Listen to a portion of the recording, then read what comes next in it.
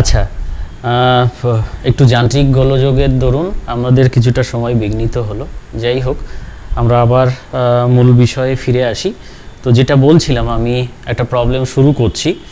আর প্রবলেমটা আমাদের মূলত পরীক্ষা পারপাস বলো বা শঙ্কু মানে যে কোনো বিষয়ে আর কি, পরিমিতির মূলত প্রবলেম সলভিংটাই মূল কাজ আর কি। তার মধ্যে দিয়ে আমরা ফর্মুলাগুলোর জেনারেট কীভাবে হলো সেগুলো নিয়ে একটু আলোচনা করলাম।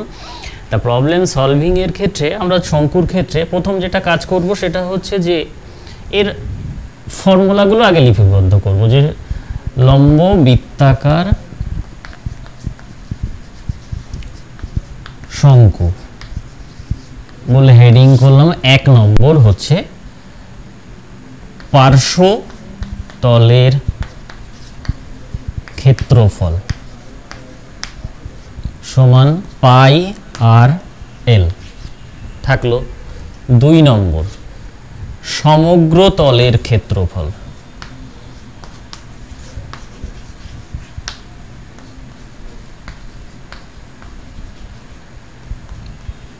তাহলে পাই আর এল, ম্যাডাম, এইমাত্রই করালেন এগুলো, প্লাস পাই আর স্কোয়ার।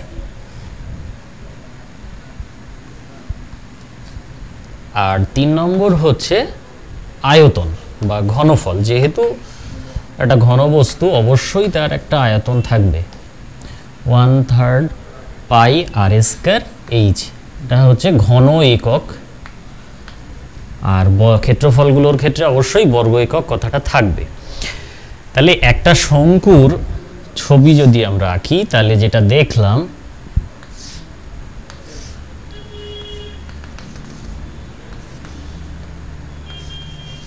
সেটা হচ্ছে ব্যাসার্ধ তির্যক উচ্চতা এল আর এইচ হচ্ছে উচ্চতা। তার মানে একটা শঙ্কুর, অর্থাৎ তিনটে মূলত পরিচয় থাকে, সেটা হচ্ছে তার অর্থাৎ তিনটে মাত্রা থাকছে কি? এইচ উচ্চতা তির্যক উচ্চতা এল আর ভূমির ব্যাসার্ধ আর পরীক্ষায় যে প্রবলেমগুলো থাকবে বা এক্সারসাইজে যেগুলো দেখবে, সবই কোনো না কোনোভাবে কানেক্টেড থাকে, সেটা কি? যে কোনোটার ক্ষেত্রফল দেওয়া আছে। তাহলে তার আয়তন বের করো।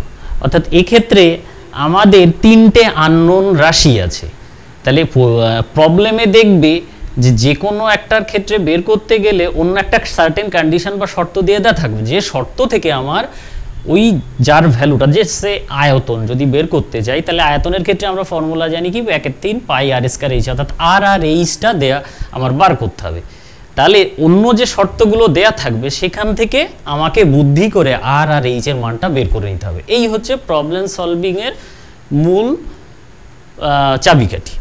এবার সেক্ষেত্রে আমার এই তিনটে ফর্মুলা সঙ্গে রাখতে হবে। সঙ্গে আরেকটা জিনিস আমি বলতে বলে গেলাম, যেটা আর কি অনেকটা পিথাগোরাসের উপপাদ্যও বলা চলে, যে এল স্কোয়ার সমান সমান h square plus r square এটাও কিন্তু আমার শঙ্কুর ক্ষেত্রে কাজে লাগবে। আচ্ছা। তাহলে আমরা যেমন তিন দাগটা শুরু করছিলাম, তিন দাগটাই আবার চলে আসি। আমি আশা করছি বইটা সবার কাছে আছে, একটু নিয়ে বসেছো, তা নাহলে আমি প্রবলেমটাও লিখে দিচ্ছি। একটি সমকোণী ত্রিভুজের ত্রিভুজ অঙ্কন আমি না একটি সমকোণী ত্রিভুজ অঙ্কন করেছে, যার সমকোণ সংলগ্ন বাহু দুটির দৈর্ঘ্য পনেরো সেমি ও কুড়ি সেমি। তার মানে কি?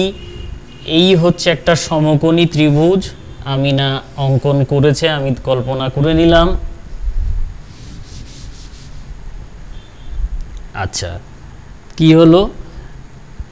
তাহলে একটা হচ্ছে পনেরো আর একটা কুড়ি সেন্টিমিটার। আর একটা কি বলেছে যে পনেরো সেমি দীর্ঘ বাহুটিকে, অর্থাৎ এইটা, আমি কিন্তু পনেরোটা, অনেকে হয়তো এটাকে পনেরো, এটা কুড়িকে, কুড়ি করতে পারে, কিন্তু আমি পনেরোটা এইটা নিলাম কারণ বইয়ের ভাষাটা আমার খুব গুরুত্বপূর্ণ। পনেরো সেমি দীর্ঘ বাহুটিকে অক্ষ করে অর্থাৎ এইটাকে আমি অক্ষ করে সে এই বিন্দুটা ধরে এরকম রোটেট করব বা রোটেট ঘোরাবো। পনেরো সেমি দীর্ঘ বাহুটিকে অক্ষ ধরে ত্রিভুজটিকে একবার পূর্ণ আবর্তন করলে যে ঘনবস্তু তৈরি হয়, তার পার্শ্বতলের ক্ষেত্রফল সমগ্রতলের ক্ষেত্রফল এবং আয়তন নির্ণয় করি। এই প্রবলেমটা আমার ধরার উদ্দেশ্য এই কারণে, এখানে কিন্তু কখনোই বলে দেয়নি যে এটা লম্ববৃত্তাকার শঙ্কু। ম্যাডাম, লম্ববৃত্তাকার শঙ্কু বলার সময় কিন্তু এইভাবেই ব্যাপারটা বোঝালেন, যেটা খুবই ভালো। অর্থাৎ শঙ্কুটা কীভাবে জেনারেট হচ্ছে সেটা জানা কিন্তু খুব প্রয়োজন। অর্থাৎ একটা সমকোণী ত্রিভুজের লম্বটাকে অক্ষ রেখে তার একটা বিন্দু ধরে পূর্ণ আবর্তন করলে যে একটা ঘনবস্তু শঙ্কু তৈরি হয়, সেই যে কনসেপ্টটা তুমি এখানে জানো কি না সেটার জন্যই কিন্তু প্রবলেমটা দিয়েছে। এই পরিমিতির ক্ষেত্রে এই বিষয়গুলো শেখা খুব প্রয়োজন। তাহলে এটা হলো আমি যখন এটা তৈ- এইভাবে ঘোরাবো, তাহলে কিন্তু আমাকে, আমার কিন্তু এরকম একটা শঙ্কু তৈরি হয়ে গেল। অর্থাৎ ব কলমে আমি কিন্তু বুঝেই নিলাম যে এই যে ঘনবস্তুটার নাম আমার না বলে দিলেও এটা যে লম্ববৃত্তাকার শঙ্কু, সেটা আমাকে কিন্তু বুঝে নিতে হবে। ব্যাস, যেই জেনে গেলাম এটা একটা লম্ববৃত্তাকার শঙ্কু তাহলে এবার চলে আসি পার্শ্বতলের ক্ষেত্রফল। তাহলে পার্শ্বতলের ক্ষেত্রফলে আমি ফর্মুলায় এখানে লিখে দিয়েছি যে পাই আর এল। তাহলে আমি প্রবলেমটা দাগ নম্বর হচ্ছে তিন দিয়ে দিলাম। তাহলে লিখছি দেখো। এক্ষেত্রে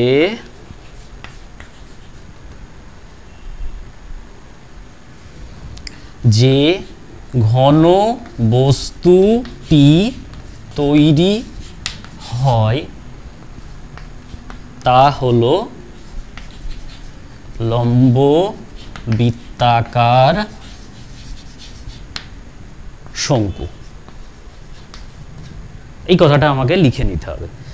নেক্সট তাহলে লম্ববৃত্তাকার শঙ্কু যেই হয়ে গেল, তাহলে আমার কিন্তু কোনটা ভূমির ব্যাসার্ধ আর কোনটা উচ্চতা, সেখানে আমার সেই কল্পনাটাও হয়ে গেছে। তাহলে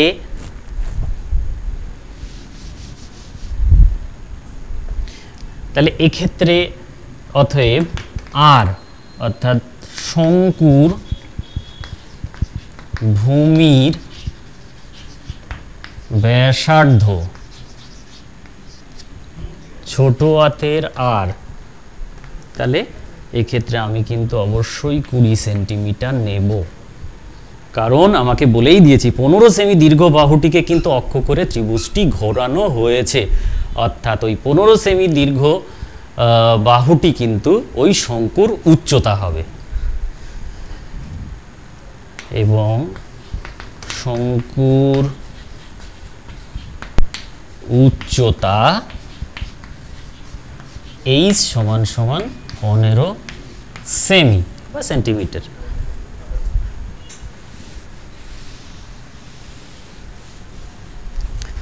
আচ্ছা এইবার আমরা যদি আমাদের প্রশ্নের উত্তরে চলে আসি পার্শ্বতলের ক্ষেত্রফল, ফর্মুলাটা হচ্ছে পাই আর এল। আর এর মান আছে, এইচ এর মান আছে, আমার কিন্তু এল এর মানটা নেই। তার মানে আমি যেটা বললাম যে প্রবলেম সলভিংয়ের মূল কাজ কি হবে, তোমার কিছু জিনিস দেওয়া থাকবে। তোমার যে জিনিসটা বার করতে দেবে বা পরিমাপ করতে দেবে, তাতে যে আননোন রাশিটা লাগবে, তা তোমাকে বার করে নিতে হবে। এবার কীভাবে বার করব? আর আর এইচ আছে, চার নম্বর ফর্মুলা দেখো, এখানে লেখাই আছে l square equals to h square plus r square তাহলে আমরা লিখব কি? আমরা জানি। কি জানি? L square equals to h square plus r square এখানে লিখতেই পারো যেখানে এল শঙ্কুর, লম্ববৃত্তাকার শঙ্কু সেটার বারবার আমি লিখলাম না, তির্যক উচ্চতা। হলো, তাহলে এল সমান সমান রুট ওভার এইচ মানে কি? দেওয়াই আছে পনেরো। তার স্কোয়ার, আর মানে হচ্ছে কুড়ি, তার স্কোয়ার এটা সেন্টিমিটার। তাহলে রুট ওভার পনেরো পনেরো গুণ করলে গুণ করতে হবে আচ্ছা একশো পনেরো গুণ পনেরো। প্রয়োজনে সাইডে গুণ করে নিতে হবে। আর এদিকে তাহলে দুশো পঁচিশ। আচ্ছা অনেকের এই মানটা কিন্তু মুখস্ত থাকে, যে পনেরো পনেরো, দুশো পঁচিশ পঁচিশ পঁচিশ, ছশো পঁচিশ এই সমস্তগুলো যাদের মুখস্ত থাকলে ভালো, করে নেওয়া ভালো, তাড়াতাড়ি ক্যালকুলেশনটা হয়ে যায়, আর কিছুই নয়। আচ্ছা কুড়ি তার স্কোয়ার মানে চারশো। হলো?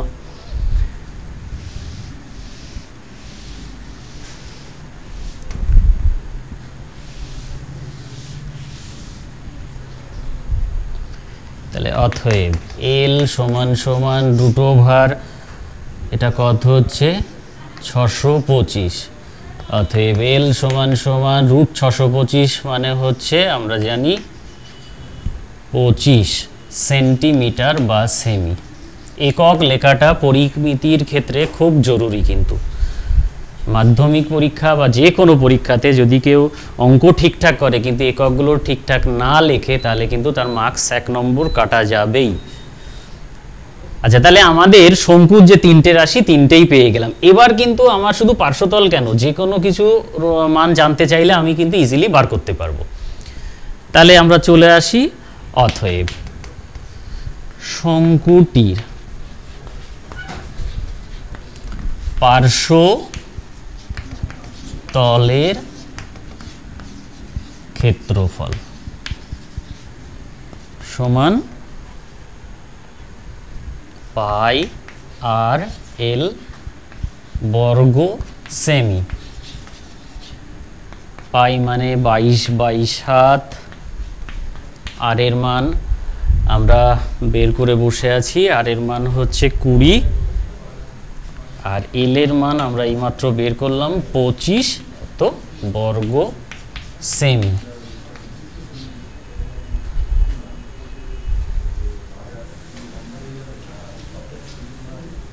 আচ্ছা তাহলে এখানে বুঝতেই পারছ, কাটাকাটি কিছু গেল না, কিছু করার নেই আমার। তাহলে পঁচিশ পাঁচশো বাই সাত। আচ্ছা তাহলে পাঁচ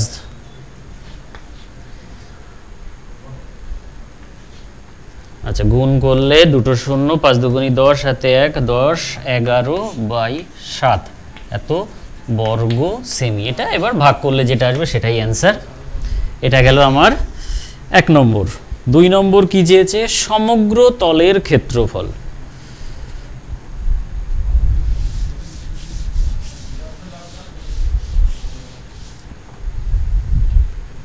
সমগ্র তলের ক্ষেত্রফল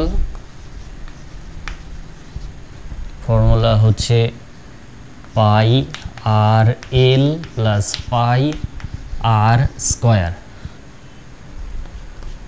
আচ্ছা এখানে পাই আর প্রয়োজনে একটু ক্যালকুলেশনের সুবিধার্থে কমন নেওয়া যেতেই পারে।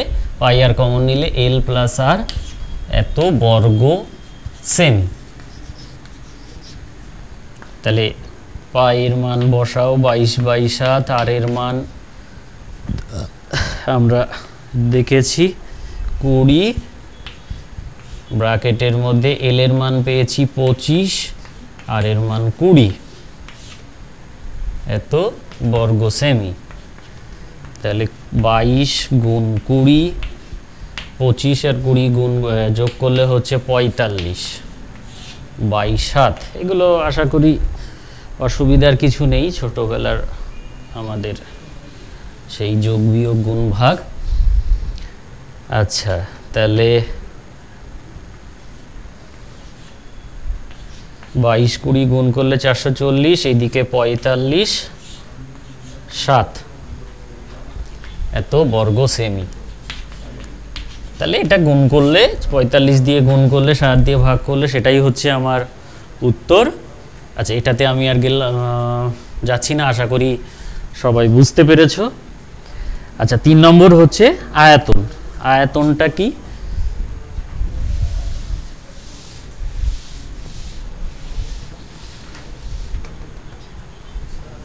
শঙ্কুর আয়তন। ফর্মুলা কি জানি? One third pi r square h তাহলে ওয়ান থার্ড থাকল পাই বাইশ বাই সাত আর হচ্ছে কি পেলাম? আর হচ্ছে ব্যাসার্ধ, অর্থাৎ কুড়ি, তার স্কোয়ার আর এইচ হচ্ছে পনেরো। এটাই কিন্তু ঘন সেমি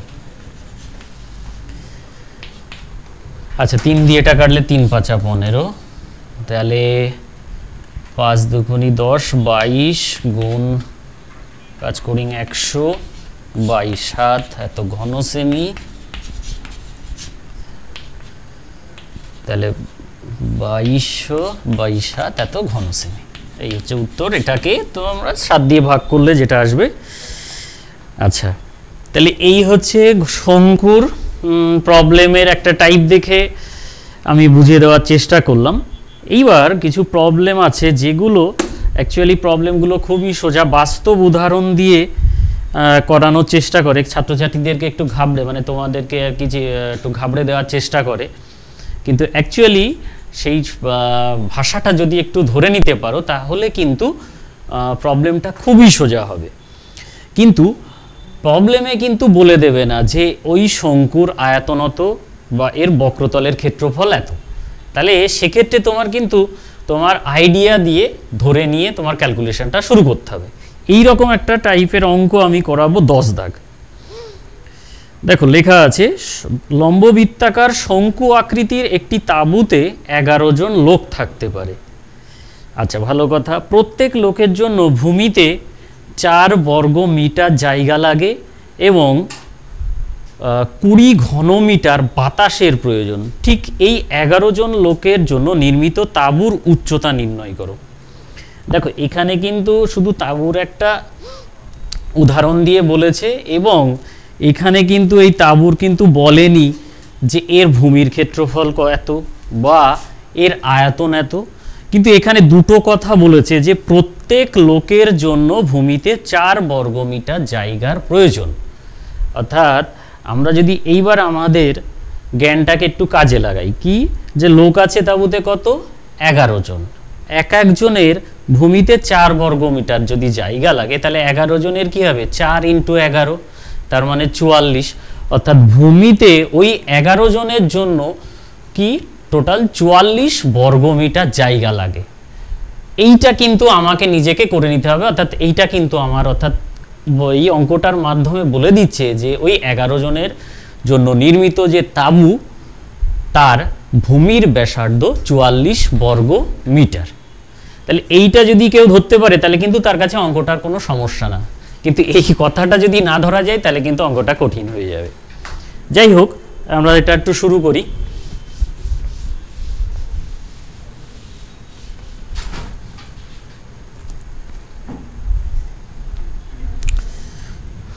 দশ দাগ তাহলে আমরা এই কথাটা লিখব। ওই তাঁবুতে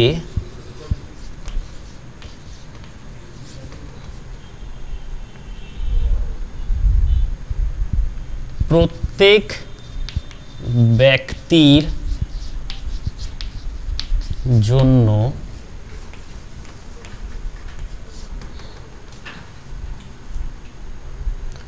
চার বর্গ মিটার জায়গা লাগলে এগারো জনের জন্য প্রয়োজনীয়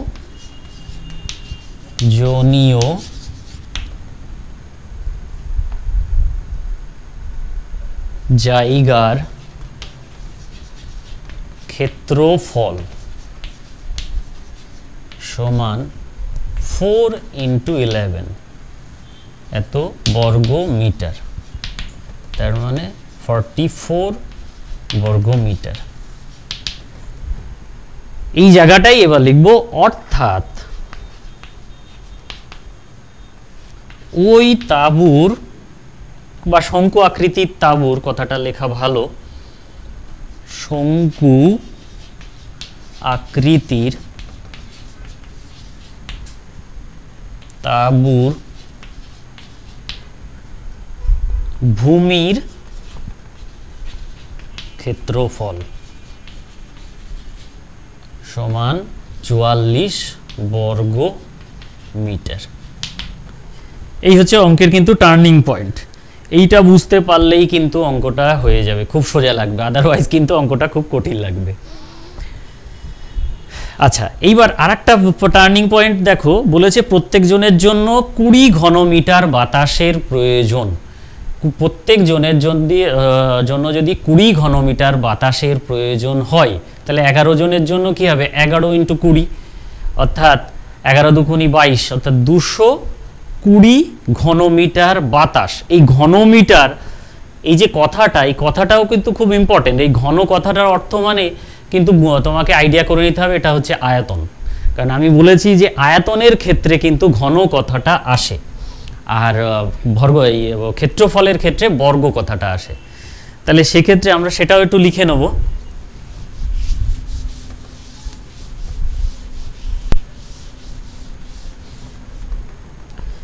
কি লিখব? যে এগারো জনের জন্য প্রয়োজনীয়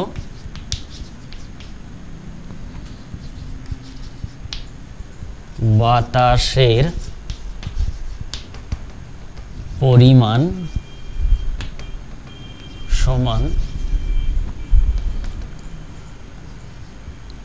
এগারো ইন্টু কত ছিল ওটা? এক একজনের জন্য কুড়ি। এত ঘন মিটার। দুশো কুড়ি ঘন মিটার। অর্থাৎ ওই শঙ্কুটির আয়তন হবে দুশো কুড়ি ঘন মিটার। হয়ে গেল। তার মানে আমি কিন্তু প্রথমে তার আয়তন কত হলো বের করে নিতে পারলাম, তার ভূমির ক্ষেত্রফল কত আমি সেটাও বের করে নিতে পারলাম। তাহলে এই আয়তনের ক্ষেত্রে ফর্মুলা দেখছি one third pi r square h আর ইয়ের ক্ষেত্রে ভূমির ক্ষেত্রফলের ফর্মুলা আমরা জানি পাই আর স্কয়ার এইচ এখন আমাদের কি চেয়েছে? ঠিক এগারো জনের জন্য নির্মিত তাঁবুর উচ্চতা নির্ণয় করতে হবে। তা আমরা নির্ণয় যেহেতু করতে হবে, আমাদের নিয়ম কি? যেটা দেয়া থাকে না, সেটা আমরা ধরে নিই। তাহলে কি লিখব? ধরি এগারো জন লোকের জন্য নির্মিত তাঁবুর উচ্চতা এইচ মিটার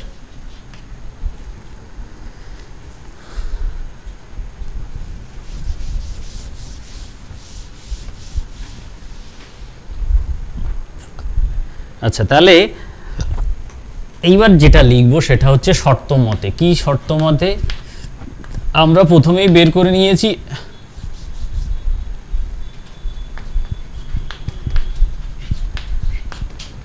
শঙ্কুর ভূমির ক্ষেত্রফল বের করেছিলাম চুয়াল্লিশ। তাহলে পাই আর স্কোয়ার এইচ সমান চুয়াল্লিশ।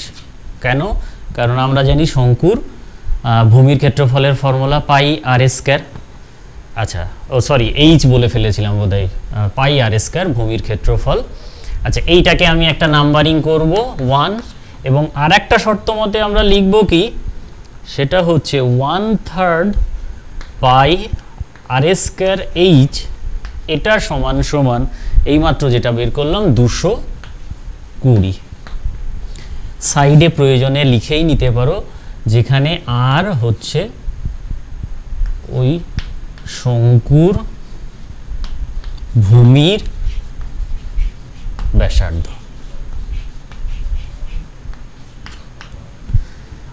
তাহলে বা, এখানে দেখো ওয়ান থার্ড থাকল আমি এখানে অনেকে করে কি, এই সমীকরণ থেকে এবার পায়ের মান বসিয়ে ডান দিকে নিয়ে যাবে, নিয়ে এখান থেকে আরের মানটা বের করবে।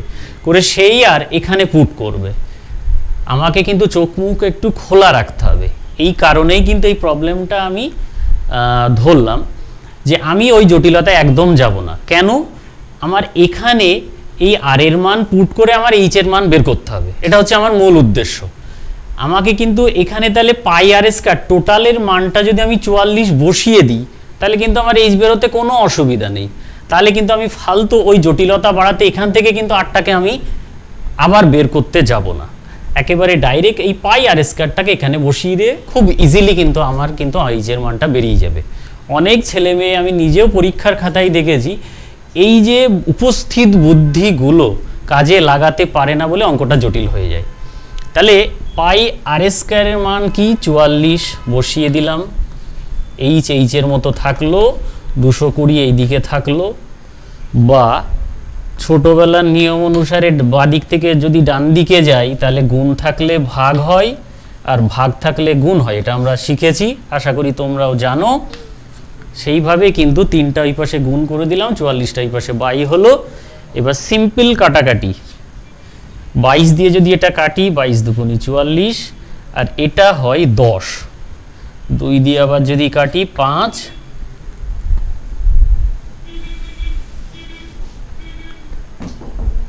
বা এইচ সমান তাহলে তিন পাঁচা পনেরো মিটার। এই হচ্ছে উত্তর। এখানে কি লিখব? যে অতএব ওই তাঁবুটির উচ্চতা হবে উচ্চতা হবে পনেরো মিটার। আচ্ছা তো এই হচ্ছে বিষয়। এখানে আর একটা কথা বলি, অনেক ছেলে মেয়ে পরীক্ষার খাতায় কিন্তু এই অ্যান্সারটা লেখে না। এই অ্যান্সারটা লেখার জন্য আলাদা করে এক মার্কস থাকবে। যদি কেউ না লেখে, তার জন্য কিন্তু এক মার্ক কেটে নেয়। যাই হোক, এই স্বল্প সময়ের মধ্যে যতদূর সম্ভব চেষ্টা করলাম। আরও হয়তো অনেক সমস্যা থাকতে পারে। তা তোমরা ইয়ে ফোন নম্বর দিয়েছি, পারলে কন্ট্যাক্ট করতে পারো, বাড়িতে চেষ্টা করো, তোমাদের ভালো হবে এই আশা রেখে আজকে আমি আমার ক্লাস শেষ করলাম। আমরা আমাদের দশম শ্রেণির অঙ্ক ক্লাস আমরা এখানেই শেষ করছি। আমাদের মধ্যে উপস্থিত ছিলেন শিক্ষক আরমান আলী মণ্ডল, শিক্ষিকা তুলি পাল। আমরা আরও একবার ধন্যবাদ জানাব শিক্ষক শিক্ষিকাদের। ধন্যবাদ জানাব মহকুমার সমস্ত শিক্ষক শিক্ষিকাদের। এই প্রতিকূল পরিস্থিতির মধ্যে তারা প্রতিদিন যেভাবে সময় করে আসছেন স্টুডিওতে এবং তোমাদের জন্য তারা ক্লাস করাচ্ছেন। লকডাউনের জেরে স্কুল বন্ধ, সে কথা মাথায় রেখেই বনগা পুরসভা ও নিউজ নোম্যান্সল্যান্ডের যৌথ উদ্যোগে শুরু হয়েছে আমাদের এই বিশেষ অনুষ্ঠান পাঠশালা। পাঠশালার প্রথম ক্লাস আমরা শেষ করলাম, পরবর্তী দ্বাদশ শ্রেণির রসায়ন ক্লাস নিয়ে ফিরব। সাথে উপস্থিত থাকবেন শিক্ষক দেবরাজ সরকার ও সতীশচন্দ্র মণ্ডল। এখনকার মতো এই পর্যন্তই। দেখতে থাকুন, সঙ্গে থাকুন। নিউজ নোম্যান্সল্যান্ড, স্বচ্ছতার দর্পণ। লকডাউনের জেরে বন্ধ স্কুল। সমস্যায় ছাত্রছাত্রীরা